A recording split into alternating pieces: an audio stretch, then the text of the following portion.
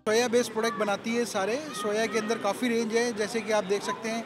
एक एक certain range है जो नॉनवेज का सब्टीट्यूट है, उसमें काफ़ी सारी वैरायटी हैं, जैसे सोया का लेग पीस है सोया शामी कबाब है सोया सीख कबाब है, ये सारी आइटम ऐसी हैं जो नॉनवेज का सब्सिट्यूट है। इनकी न्यूट्रिशन वैल्यू भी काफ़ी बेटर है। एक सर्टन एज के बाद डॉक्टर कहते हैं कि नॉनवेज कम कर दीजिए, उस समय आप नॉनवेज को वेजले के पास आ सकते हैं, क्योंकि वेजले के पास ऐसी वो सारी रेंज है जो एक नॉनवेज का सब्टीट्यूट है।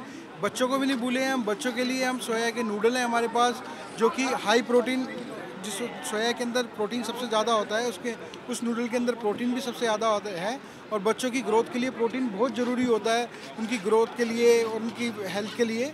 तो आप सोया के बच, बच्चों के लिए सोया के नूडल भी लॉन्च किए हमने। ये फोर या फाइव फाइव टाइम हम पार्टिसिपेट कर रहे हैं इसमें आ रहे इस साल हम सोया की भुर्जी लेके आए हैं इसका नाम क्या है और सोया का लेग पीस लेके आए हैं ये देखिए।